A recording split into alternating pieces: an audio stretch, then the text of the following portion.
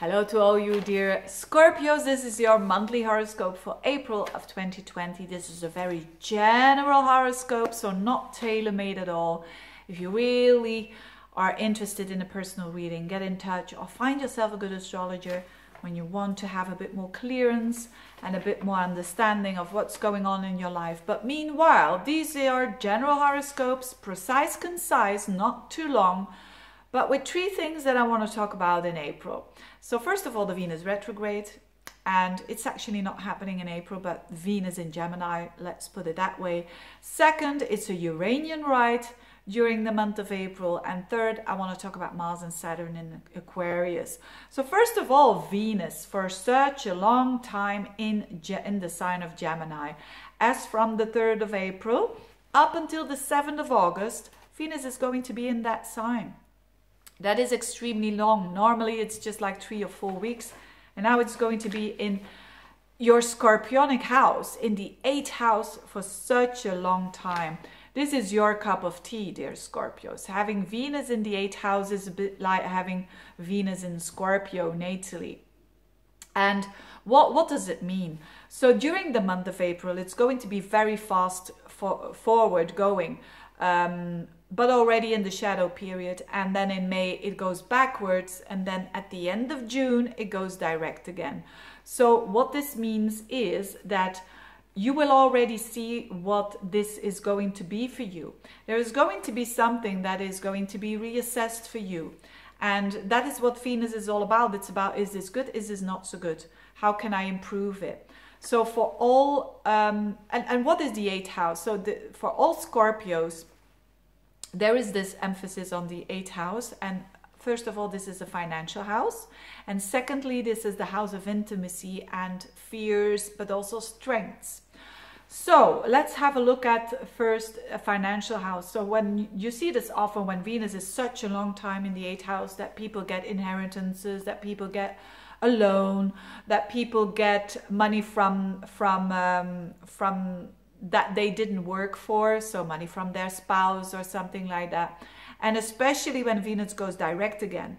So that will only occur after the, the end of June, but the time before that is a preparation.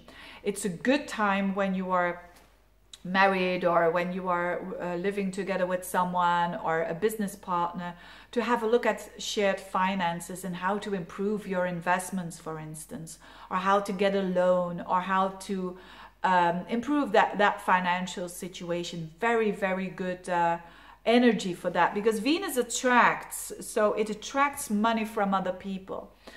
It also attracts val- validation of other people so Scorpios are known that they are quite independent and that they don't need anyone else in their life, so to speak. I mean that they they are who they are and they are very authentic. But with Venus through the eighth house for so long, they could be getting a lot of um, validation from other people. And not only financially, also emotionally, also that people really show their love in a, in a very deep way. And that's really, really good. Now, on a not financial level, this could mean intimacy. This could mean that there is something in your life that changes for the better, that you want more intimacy in your life. So, this could first mean that you um, uh, are having a breakup, for instance. So, for relationships, where there is more minuses than pluses, yes, this could mean the end of a relationship with Venus going through the eighth house, the house of death, after all. But only when it's, you know, showing a lot of other aspects in your chart. This is just one of them that can point towards that when you're really having a rough time with someone and when you really want the change yourself. Um, um, but on a on a positive level, this could mean indeed more intimacy, more. Um, and with intimacy, I mean it's it, it's like the sex and and the soul and the mind all together. You know that's what Scorpio wants. It it doesn't want when it wants to uh, a relationship. It wants everything. It one's body, mind, and soul. And there is a possibility to gain that, to gain more intimacy as well. So that's really your cup of tea here. And also being psychologically intertwined with someone, that's also Venus in the eighth house. On a negative level, this is secrecy. So you could be dealing with a relationship that, you know, I mean, not, not saying this in a judgmental way at all, but that you could be having a secret relationship and there is, you know, this reassessing that you're doing and what to do with it and what to do about it. And um, so that could be the case as well. Or someone that is you know not available or uh, that you are dealing with or you are having uh, you are married or having a relationship with someone else. This also often happens with venus being so long in your eighth house. But mostly and foremostly on a positive level and this is when venus goes retrograde mostly it gives positive results after the going direct again. That will be shown only around the end of June. So, um, but what it's gonna be for you, you will see it already happening around the first week even of um, of April because then Venus already goes in the shadow period. So you will already know what I'm talking about, one of these items there but also a love for the occult, a love for the met metaphysical side of life. You know, the eighth house is everything that has to do with the occult, hidden knowledge, and Venus means love. So, a love for hidden knowledge.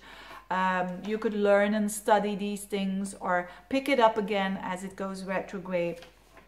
So very scorpionic month for sure. Very much things happening behind the scenes. People will not know what's going on with you on a love level, but everything happens here uh, behind the scenes. And then we've got this asset, a bit of a Uranus ride. So because Uranus is a an outer planet that gets quite a lot of um, transits with other personal planets uh, during this month. And you've got Uranus in your relationship house, and it's going to be a new moon there around the 23rd of the month. You're going to have the moon and Venus uh, and the sun, sorry, together with Uranus. So when you are single, this could mean all of a sudden, because that's Uranus, all of a sudden a new relationship. Or again, when your relationship would be extremely bad and, and you've been thinking about this for a long time, all of a sudden you say, enough there, could mean as well. And especially a bit more for some Scorpios there who are having some rough times with their spouses or girlfriends or boyfriends because it's a combination of this new moon and the Venus in the eighth house. So, but again, don't be scared. You know, you are the Scorpio. You know what's happening with your life, right? Then this uh, Uranus um, in your seventh house also clashes, especially the beginning of the, let's say the first week of the month with Mars and Saturn in your fourth house. So that could mean that there is some strugglings, energy going on between your spouse, your girlfriend, your boyfriend, um, or even a business partner um, with home.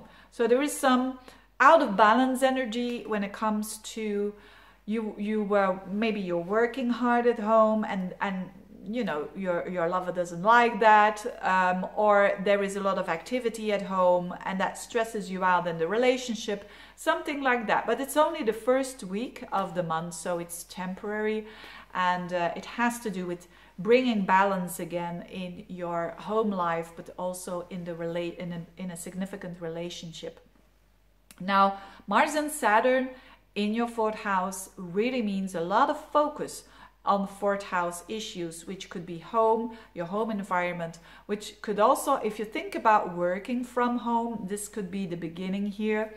Um, it could also mean that there is quite some stress at home, that things that you need to do, you know, Saturn is doing step by step by step.